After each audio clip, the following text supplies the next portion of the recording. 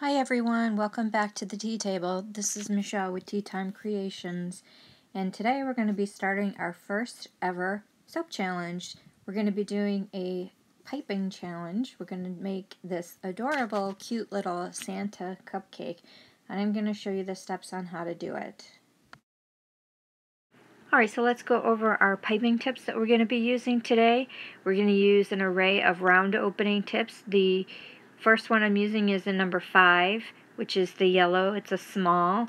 The second one I'm using is a number 12, which is the peach color that you see in the photo. The third I'm using is 2A, and it's a rather large opening. And then the extra large that I'm using, which is optional, is the 1A that I'm using, and it's the mint green in your photograph. And of course, if you have a coupler, you're going to want to use that. Um, I also am using the basket weave tip, which is the number 47 tip, a very small star tip, which is a number 24 star tip. This one is optional. You, you could use just a round tip if you wanted to. And then, of course, I'm using the grass tip, which is number 233.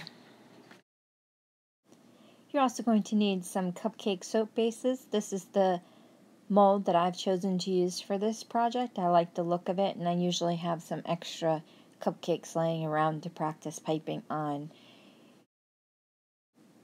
Now today I'm piping this project using cold process whipped soap on top of my pre-made cupcake basis, but you're welcome to go ahead and do it all in one day if you want to go ahead and skip that step, if you're comfortable working with cold process soap and then piping on top using cold process soap, you're welcome to do so.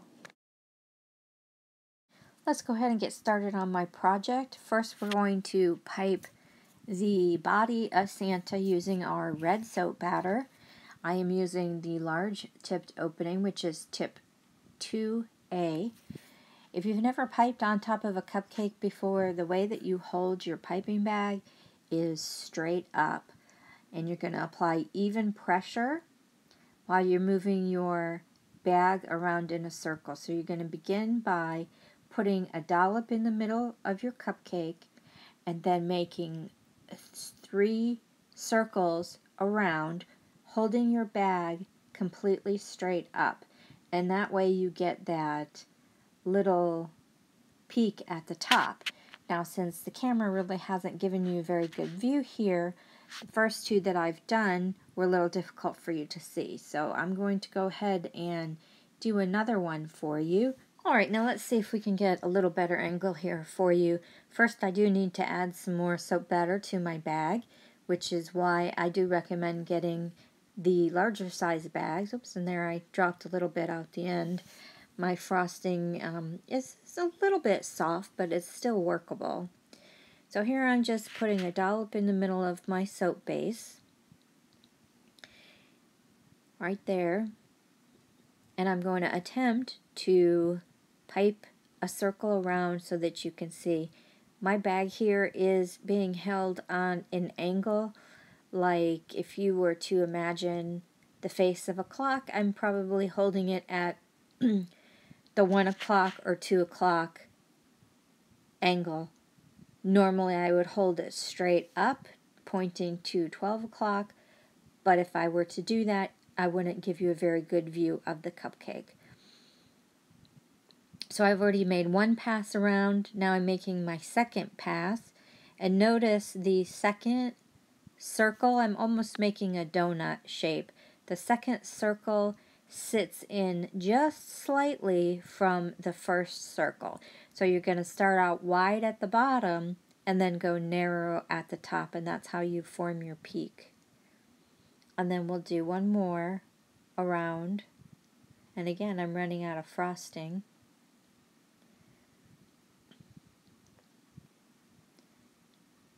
But we'll go ahead and get just enough in there kind of spread it around a little bit. So it's not the most perfect shape swirl, but that's okay um, because we're just going to cover it up.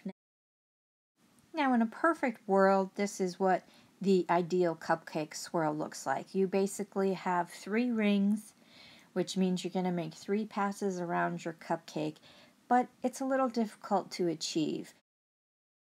So if you're a beginner and you have difficulty piping your cupcake swirl all in one single line like a swirled snake or a rope, then feel free just to continue to use the technique I showed you where you put your dollop of icing in the middle and then you're going to make three donut shaped rings around that dollop starting from large on the bottom, medium in the middle, and a very small ring at the top.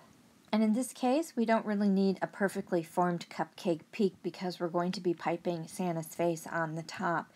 In this case, I am making Santa's face with a very small amount of orange mica just so that my Santa has a very pale, peachy kind of skin color to differentiate between his face and the, the white in his beard. And of course, if you prefer darker color skin tones, then I encourage you to experiment with some coffee colored micas or bronze colored micas and you know, make your Santa the way that you want to make your Santa. You do you. That's what I tell people all the time. You do you. That's the beauty about art. So let's go ahead and pipe his face on. We're just going to basically pipe a, a circle or a dollop, if you will, on the top of our cupcake.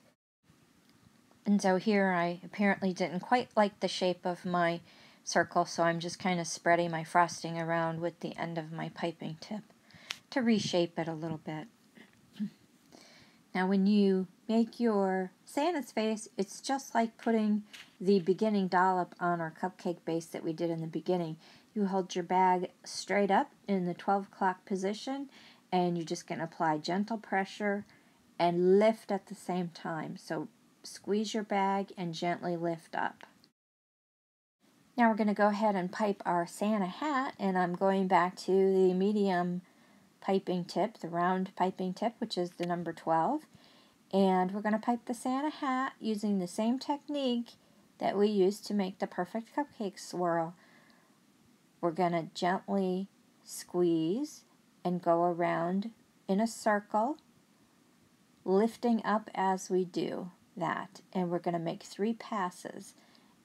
And here I put it on a little bit too much of an angle. I started on the side of Santa's head and I should have done it a little bit more in the middle and I didn't like the way that it kind of turned out. so I just took my scissors and chopped it off because I didn't like it and I'm going to start over. And that's kind of the nice thing about doing these piping techniques is you kind of keep covering up your mistakes over and over again. I am not perfect. None of my creations turn out the way that I originally anticipate they will. And it's always a surprise to me what they look like in the end. And here you've got your three perfect swirls or three three rings perfectly. It's almost like I hate to say it, and I really I really don't like to say it because I, I really don't like the um, shall we say the doo-doo emoji that is so popular these days, but that's almost what it looks like if you want something to compare it compare it to. So I'm here going back to try and fix my mistake. And I'm going to pipe a snake, the perfect cupcake swirl, three passes to make the Santa hat. Now you'll notice on my Santa hat I did not actually pipe a dollop in the middle and then do my swirl around just because I'm working with a very small um, you know, uh, peak circle that I'm working with, so it just wasn't necessary in this case. And if you're still having trouble piping that kind of perfect coil, then go ahead and just pipe three dollops, one right on top of the other, and that will give you the same look and kind of trick the eye without actually having to pipe that perfectly one piece snake curl. Let's go ahead and switch angles here and try and give you a little bit better view um, of Santa while I pipe his beard on. We're going to use the grass tip, which is the multi-opening tip, and set your piping tip just barely touching your, your Santa's face. And as you squeeze your icing out of the bag, you're going to gently pull away. And the angle of my piping bag generally points to 2 o'clock as I'm doing this. Okay, now I'm going to grab my small star tip so that I can make the fluff or the fur on Santa's hat. I'm going to gently squeeze one star on the top point of Santa's hat, and that's going to give me the pom-pom that's typically seen on the top of Santa's hat. Then I'm going to use that same star tip and make small stars across the border of his hat. So where the red hat meets the Santa's face, right on the border there where the two colors meet, you're just going to make, you're going to pipe a, a row of stars around and that's going to kind of tie everything in together. When I pipe, I typically build in layers and pipe in layers. So you start out small with one technique and just keep adding to it and then eventually you have your final piece. And there's a little bit of a close-up of his, his hat.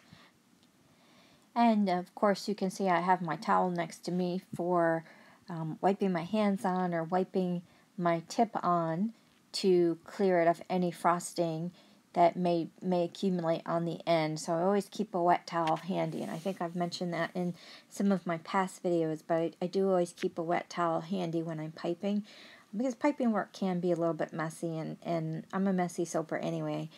So let's go ahead and, and do another row of stars uh, on Santa's hat.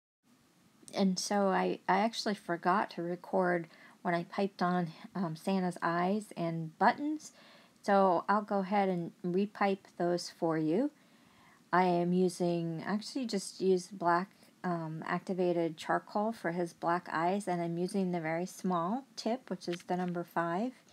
And again, you're just to pipe some dots for his two eyes. And here, you're going to pipe buttons, although I would recommend piping his belt buckle on before piping the buttons. I made the mistake of piping the buttons on first, and uh, I wish I wouldn't have done that. I should have piped the belt buckle on first. And so let's get to Santa's belt. I am using my basket weaving tip, and you're going to want to keep the ruffled side facing you. That gives you the texture in his belt. And so I'm just going to hold my bag at a 45 degree angle, apply gentle even pressure, and pull my bag around Santa, the base of Santa, at the same time. So where my cupcake base meets the um, swirl that we piped for Santa's belly, right where those two meet, that's where I chose to place my belt. You could put your belt anywhere you want on your cupcake or you don't have to use a belt at all, but this is what I decided to do um, for my Santa. Of course, it's a little difficult to pipe and turn my cupcake at the same time and yet still get a decent view for the camera. If I wasn't filming, I, I would be doing this a little bit differently. Sometimes I like to use a turntable. They're relatively inexpensive if you were to pick one up at the cake supply store. Um, and that will enable you to actually keep your cupcake on the base and then you just spin the turntable around so you don't have to use two hands spinning your cupcake in one and then piping with the other. Now, my hands were a little shaky filming and turning at the same time, but when you pipe with this tip, this ideally is what your line would look like. This is, like I've said, a basket weaving tip. And so typically you would keep your bag at a 45 degree angle, apply even pressure squeezing, and then dragging your bag at the same time as you squeeze. And that should give you nice even lines. Now we're actually pretty close to finishing our project today. We're going to do the gold but belt buckle that Santa has. I think it's gold. Um, but anyway, you can make it certainly any color you want. I did use gold mica that I added to my white soap base.